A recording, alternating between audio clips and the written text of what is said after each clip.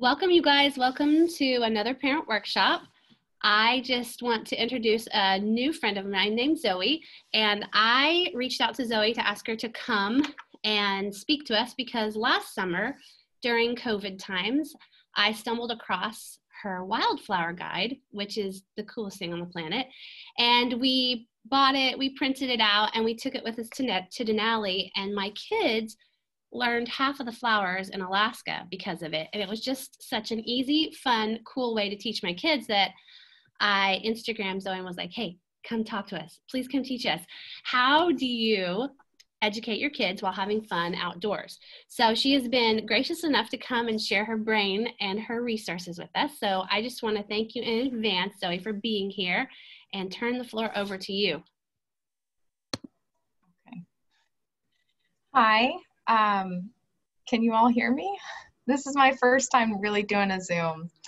Um, my name's Zoe, and like Katrina said, she reached out to me over Instagram, and um, we were able to kind of set this up. Can you all see the screen? Okay. All right. I think I'm going to just go ahead and get started. So I'm I'm just going to be talking a little bit about getting outside in Alaska with your kids.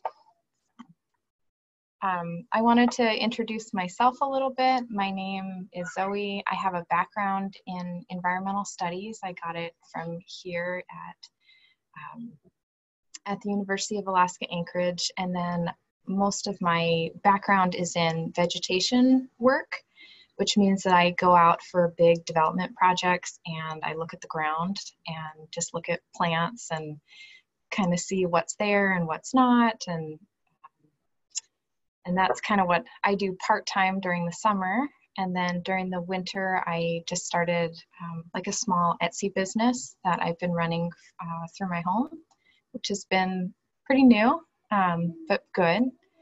And I have a I have a son who is six and he is in kindergarten and my I'm also mother to my husband who is uh, 36 and uh, we yeah have just been up here. Um, I guess the thing that I wanted to say in the beginning is just like I feel a little bit of a fraud talking to a homeschool group because uh, I have one kid and he's not in homeschool. And so um, maybe take everything I say with like a spoonful of salt and uh, just take what you like, glean what you can, and then everything else just like don't even worry about. So um, that's a little bit about us. Um, I wanted to talk. Uh, I, you know, we all live in Alaska. We live in, I think, the most beautiful state it's wide and it's open and it's pretty easily accessible. And um, I love that in the winter we get kind of crazy because it's really dark, and then we get kind of crazy in the summer because it's really light and we want to go do everything. Um, and so here's I am. Um, I wanted to start by sharing a few of the lessons that I've learned just with having Will, things that he's taught me. One of the biggest things, and I think the number one lesson that I've learned is to just lower your expectations when you go outside with kids. Um, you're probably not going to reach the point that you want to. You're not going to reach the end of the trail or the top of the mountain. Um, it's really good when you leave the parking lot because um, they tend to like want to build a rock pile right there in the parking lot. And you know i always want to get to that noteworthy spot that picture taking area and a lot of times we just don't make it. Um, and that's that's okay. Um, so just keep that in mind when you go out. Um, and then it's all trial and error when you go out with your family um, and you really have to find what works with your own family um, like I mentioned before, it's just uh, my husband and Will and I. So we have a really small family. It's easy to pack up and get out and go. And honestly, a lot of times my husband's working. He works a lot and works odd hours. So a lot of times it's just Will and I. Um, and so we've kind of found what works for us. And um, for me, a lot of times I get out, it's it's for my own mental health um, and for my own attitude. So it's kind of a selfish reason why I'm getting out. And, um, but I think I'd like to think that it benefits him too.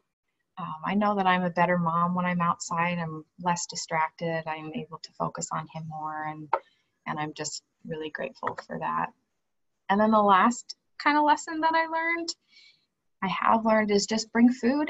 Like that's super simple and I think we all recognize that we get really hungry when we're outside and we really grumpy. I grew up with an aunt who would always take us out when we were kids. Um, I have three other siblings, and she would take me and my older brother a lot. And she would always say, like, the reason we go outside is that we can eat the candy and the cookies and the soda and the chips and eat all that because I don't know, she, she said it always tastes better outside. And I really think that's kind of true. So I feel like half of my pictures are us just eating outside. So, anyways, bring food. Um, and then, so one of the things that I've been asked to kind of talk about is is outdoor study, uh, things that we can do to kind of look at nature. Um, and I would just say get low, uh, get down on your children's level, get down with them, um, look at things really closely, sit down, take your time, get on your knees, um, and look at things. And this is all coming from the point of me being a botanist. Um, we always bring uh, magnifying glasses and hand lenses, things to just look up close and take our time. Um, there's a picture of my son there, and he's eating some mountain sorrel, and it kind of tastes like sour Skittles and so just being you know being able to try new things and um, and then there's a picture down there below with my husband and he's tide pooling uh, with will. And that's one of his favorite things to do. He grew up in kodiak uh, tide pooling when he was a kid. And so um, whenever we go out in the summers um, he loves to go out tide pooling and just kind of peek around and um, I think one of the things that we love to do is if we're out and there's something new that we've encountered, or uh, my son's really into frogs, like we spend a lot of time YouTubing things when we get back and looking, you know, what frogs live here in Alaska and and what's going on with them, and um, it's been kind of a good thing. Um, when we go out, we spend a lot of time playing I Spy and 20 questions and I've learned that if you're interested in something, uh, they will also be very interested, or hopefully they will. Um, and then, yeah, so that's kind of that. Um, last spring, when COVID first hit, uh, we had just come back from Hawaii and it was kind of a hard transition to come home with everything shut down. Um, and this was one of the things that kind of butted out of homeschooling Will for the spring was this early spring scavenger hunt. And I can send Katrina a copy of this and you can send it out to everyone. Um, it's just a list of things that you can normally find outside in Alaska in the early spring. We use an egg carton to kind of collect everything that's on the list, and I you know, let him carry a big pencil and and collect things. And it just kind of, spring is kind of lame in Alaska. You know, we don't have many flowers out and it's not really warm. So it's kind of a fun afternoon activity. Um, so that's one thing we like to do. Um, I also wanted to talk about different field guides and books and resources coming from um, a plant perspective in Alaska. So uh, another thing that came out of COVID were these wildflower guides that Katrina talked about. Um, these came off of a long boat trip that I was on uh, with my husband and my son, and um, was able to just really draft something up, and and then uh, just worked on my carpal tunnel, trying to write everything really little. Um, but these, I was kind of asked to talk about them a little bit. Um, on each of the sheets, there's two sheets. There's the wildflowers of Alaska, which is more of the lowland common areas, um, roadsides, fields, things like that. And then the blue outline copy is the alpine wildflowers. And those are the flowers that you're going to find above tree line uh, more often here in Alaska. Um, and then each picture is accompanied with the scientific name up top, uh, and that's in Latin. And then the bottom is one of the common names. Most plants have lots of different common names. Um, there's also a small box in each of the pictures, and those are for checking them off. And then there's an, also a number two, which is normally in the lower uh, right-hand corner. And that corresponds to back of the page where you'll see the, uh, the name of the plant and the blooming period and where most often that you'll find it. Um, and those I have, I have those for sale. Uh, this is my shameless artist plea. Um, they're on my Etsy site at wildsleepyroots.etsy.com. So if that's something you're interested in, um, I do laminate them. That is an option, and so you can use them over and over and, and beat them around. So uh, some of the things that we take out into the field, uh, my son and I, is I always bring a camera, and normally it, it's just my phone, just slips in the back pocket, takes good pictures. I'll bring a collection container, so like an old Nalgene bottle or some plastic Tupperware, uh, anything to use to kind of collect things that they find exciting, or maybe you find exciting. Um, and you can stuff that in your bag and, and take it home. Um, I think that we all have kids who have uh, shelves full of rocks and sticks and um, maybe something moldy that they have uh, kept in their room.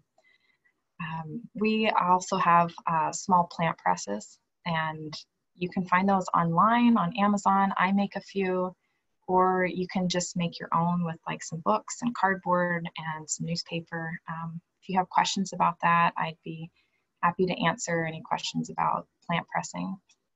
Um, magnifying glass we normally bring, you can find those on Amazon. They're big and bulky and they get dropped, you know, who cares? Um, I also bring a hand lens. I don't think I have a picture of it, but it's really small. They also call them jeweler's lenses, and you can wear them around your neck. And those have really high, powerful magnification, which is really kind of cool to get really up and close and personal with some of these plants, and you can see some of the plant parts and the reproduction, and it, it's pretty kind of neat. Um, uh, notebook and pencil, you can write down, you know, where you are, what the kids are seeing, what they're liking. You can draw. Um, and then I always bring some field guides, um, a couple books, um, things that I've just always kind of trusted. And then at home, uh, we have a microscope. Uh, that was one thing that I got for my birthday a couple years ago because I'm a giant nerd. And it's been a really good investment. Um, a lot of times we'll bring home plants or dragonflies or, you know, dead butterflies and we'll be able to look at them underneath the microscope. And um, it's just kind of it's cool for him but it's really cool for you know us adults too. We spend a lot of time going oh this is really cool. And so uh, these are the best field guides that i have found for learning the plants here in alaska um, the big black one the flora of alaska that's a really hefty book um, if you're really into plants um, the you can find that at the herbarium at, at the anchorage uh, university Otherwise, I'd probably suggest not buying it. Uh, the boreal herbal um, in the center is great if you are looking into medicinal uses of plants.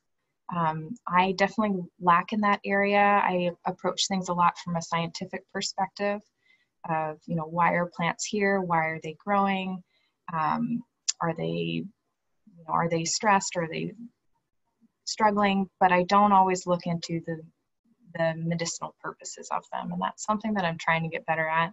A lot of my friends are really into making salves and tinctures and things like that. And um, this is a great book to learn.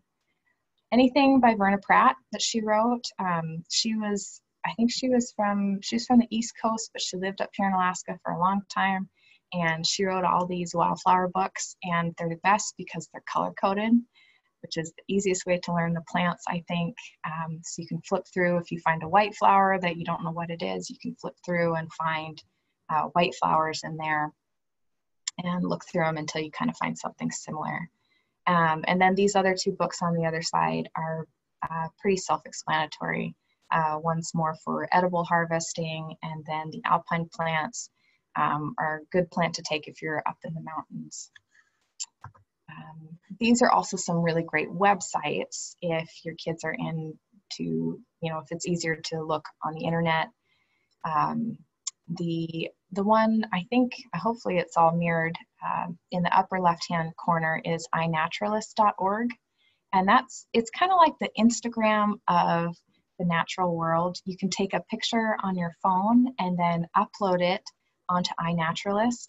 And if you have questions, you can write, I have no idea what this is, what is it? And people can come along and say, well, okay, well, that's, you know, that's ger- geranium erianthum. And I know that. And then you can have, it'll go through a secondary review and like two or three other people will, you know, confirm or deny that uh, diagnosis of that plant.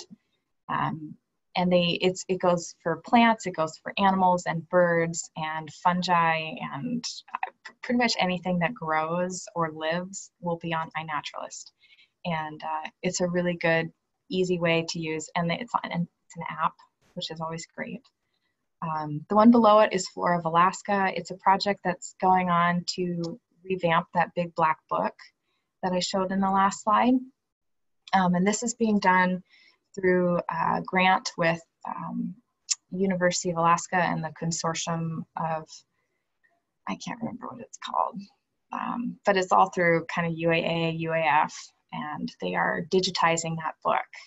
Um, and then the other two sites uh, are the one in blue is really great. It has a lot of pictures. It has a lot of scientific names. You can click on it and find out, you know, what's in the Primulaceae family you know, and, and find out what all the primroses are. And you can look at them. It's a really good way. And then the one below, I just found through a Google search, and they just have beautiful pictures. And um, so if you see something that you like, it's like, oh, I, I've seen that before. So. Um, and then I was going to talk a little bit about our favorite local places. So I grew up here in Alaska and we live out here in Palmer and just love Alaska and really love the areas that you can easily get to, the ones that have big parking lots. Like we like all those things. Um, so if you are in Anchorage, I think Katrina said a lot of um, a lot of people are in Anchorage. These are a few of the areas kind of out here in the valley. Um, this is these pictures are from the Knik River, and you can also access the Matanuska River.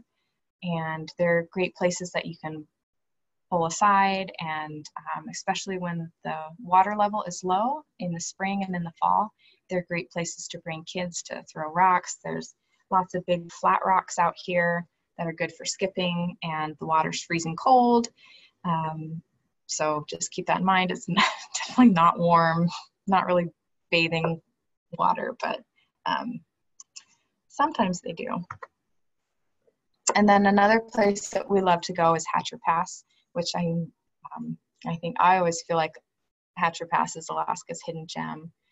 So uh, we always go up to the Reed Lakes Trail to look for blueberries. They get tracked out pretty fast, but I think it's beautiful country, beautiful wildflowers, especially in uh, June, July timeframe.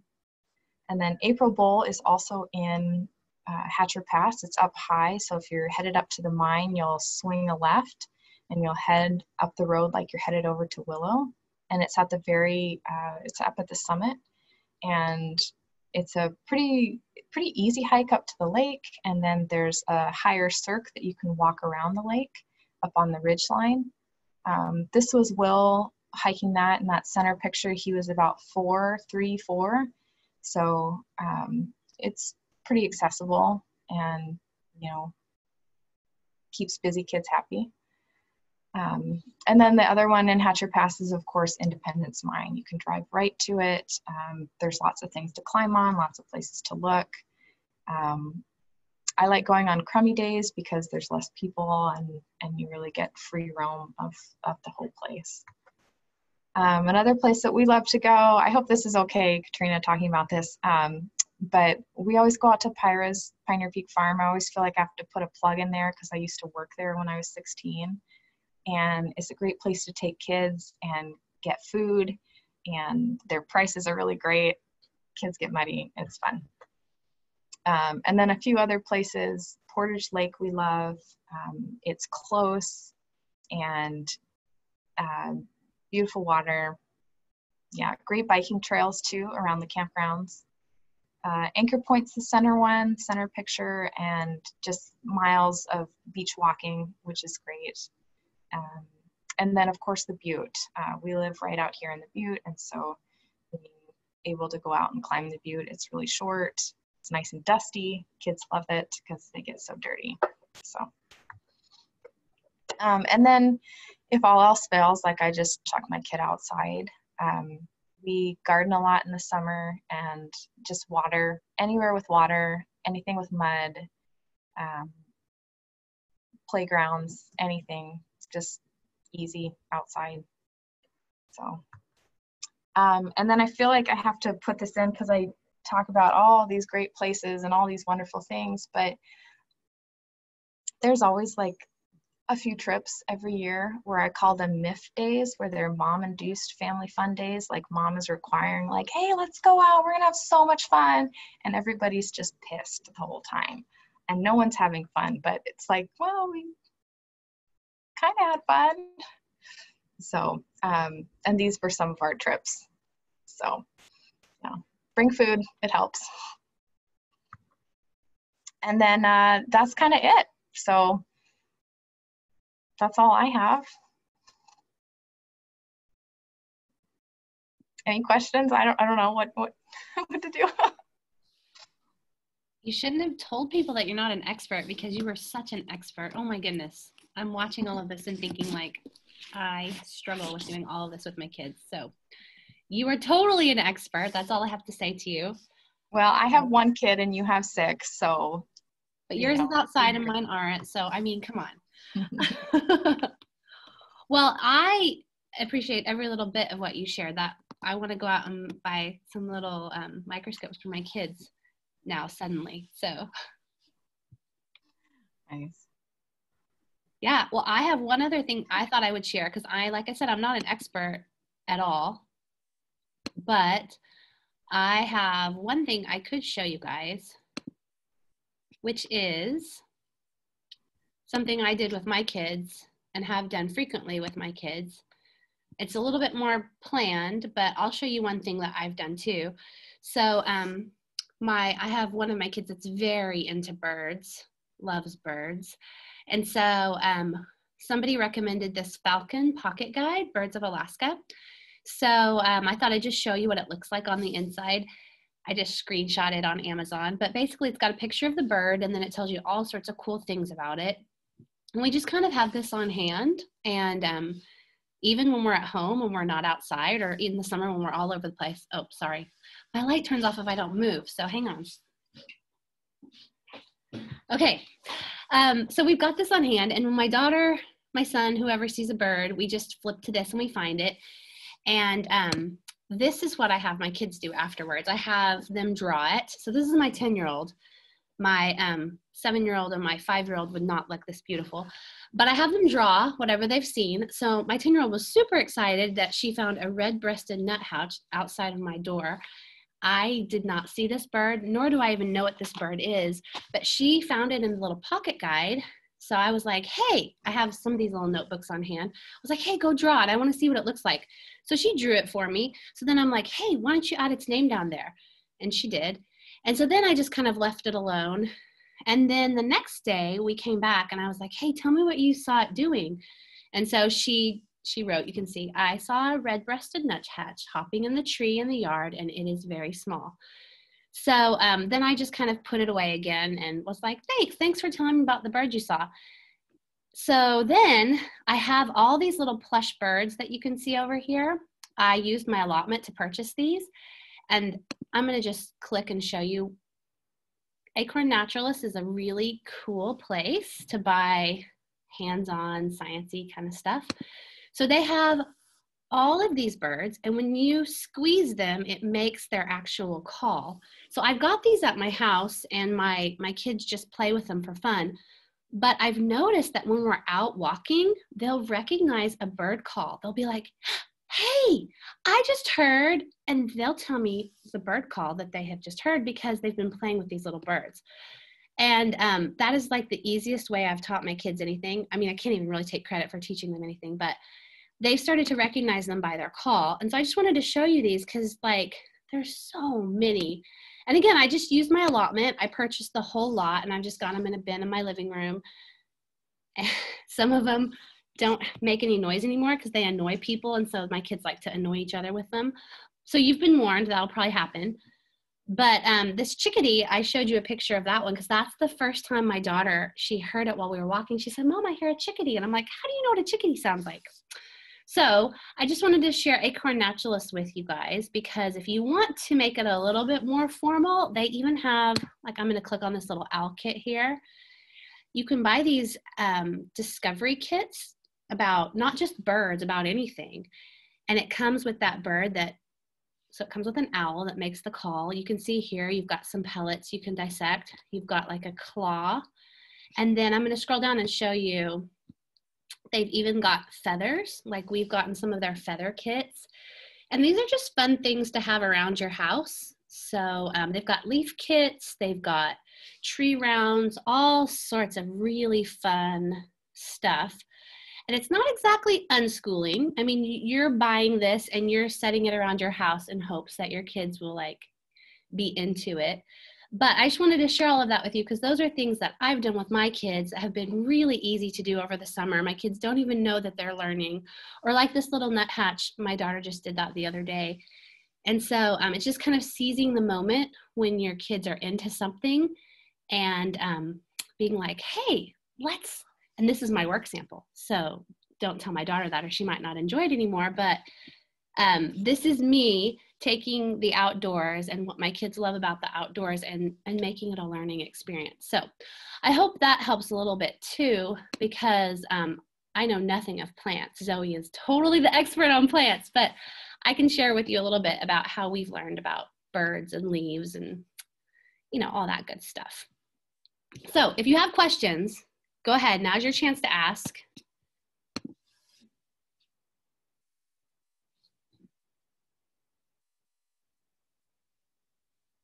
Okay, and if you don't, then you are free to go enjoy your Friday evening. But again, I just want to tell Zoe thank you. Thank you for coming and sharing um, your wisdom and also just some great ideas on how to have fun with our kids this summer. Yeah, thank, thank you so much. Pleasure. I finally have some ideas because I uh, I've lived here almost 30 years, but um, my parents were never really outdoorsy, and so my friends really weren't outdoorsy when I was younger. And I appreciate now that my kids are younger getting them outside, but I don't even know where to begin. So this helps a lot. I appreciate it. Thank you. Oh, you're welcome. It was a pleasure to be here. And thank you for sharing about the Acorn Naturalists too. I'll have to look that up. Oh, watch out. You're going to spend all your money there. Probably. Yeah, and so Nicole asked, how do you turn in work samples for this type of schooling? And so um, there's lots of ways. That little picture that I showed you, that my daughter, where she drew the bird and then she wrote what she saw about the bird, um, that's totally a work sample. Another thing you can do is you can record your child talking about, like, hey, we went to Denali and we found all these flowers or you can take a picture, just like Zoe did, of the scavenger hunt and then of their little egg carton of where they found those items. That's a perfect work sample. Um, literally anything that shows that your child learned something about science is a work sample. So you can get super creative. Um, and I think the flower press is something that we did last summer is we pressed some of those flowers that we found and then when we got back home i had my kids just pick one flower and then um, they put it on a piece of paper and then they wrote its name and then that was the work sample. So um, yeah so there's millions of ways and i think that's one of the reasons we we keep doing school during the summer because i feel like it's just a wealth of science knowledge that your kids don't even realize that they're actually doing school. It just feels fun. And then you don't have to do so much during the fall because you've done most of your science during the summer. So I hope that answered your question, Nicole.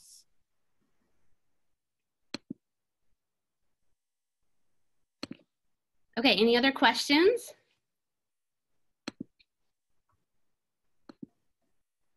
Okay, well, if you have more, you can text me. I never go outside, so I'll be a terrible person to talk to.